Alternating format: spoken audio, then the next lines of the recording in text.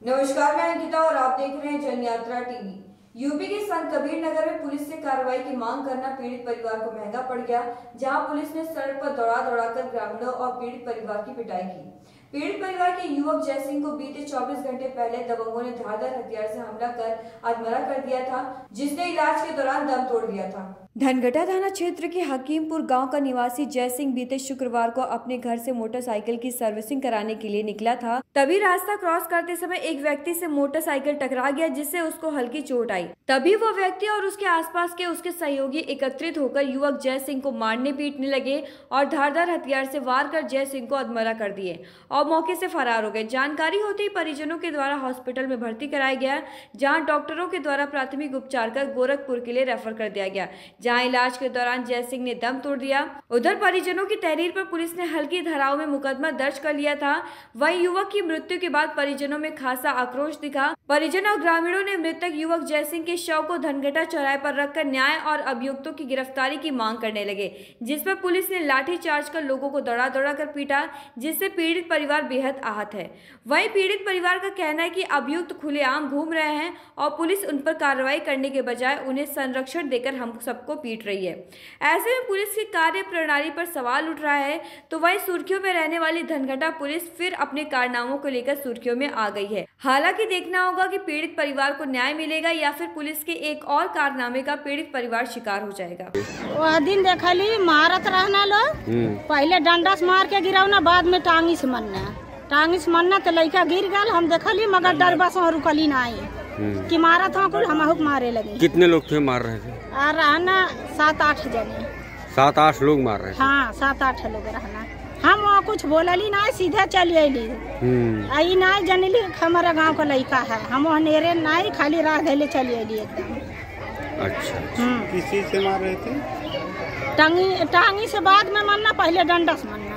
टांगी से बाद में मरना। टांगी से मरना तो गिर ही गया। आप वहाँ थी उस वक्त जिस वक्त घटना हुई आप वहाँ पे थी? हाँ रात आवत रही। कहाँ से आ रही थी आप? हैसर से। मेरा भाई गाड़ी सर्विसिंग कराने जा रहा था और हम दोनों बंदे साथ में जा रहे थे। हम्म, बस थोड़ा सा हम पीछे हुए। अच्छा। और ये सब उसको इतना सौ मीटर की दूरी थी। इसको उतना मारने रहे तो कुल्हाड़ी देखे मार रहे थे हम लोग चिल्लाते गए लेकिन तब तक मार दिए थे।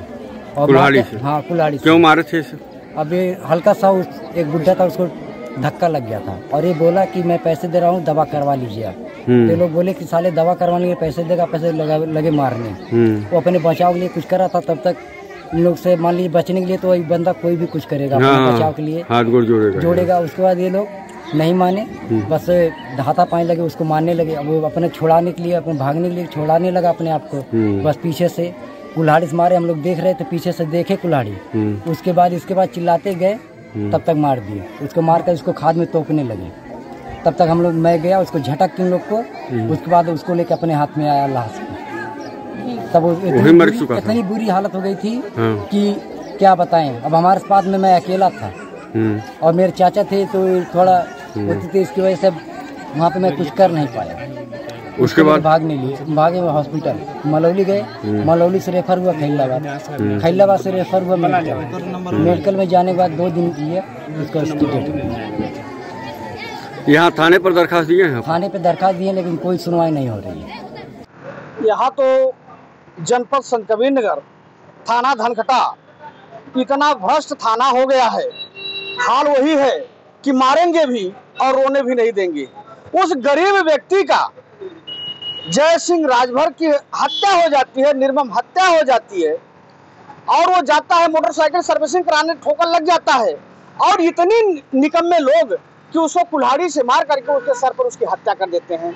और गाँव में जब मेरे जिलाध्यक्ष जी जाते हैं संवेदना व्यक्त करने के लिए, और वो आते हैं थाने में चूँकि इसी रास्ते से होकर के लाश बिढ़र घाट पे जाती है तो हमारे जिलाध्यक्ष सहित लगभग ढाई सौ नागरिक थे उनके ऊपर यहाँ की पुलिस बर्बरता पूर्वक इस चौराहे पर लाठीचार्ज करती है।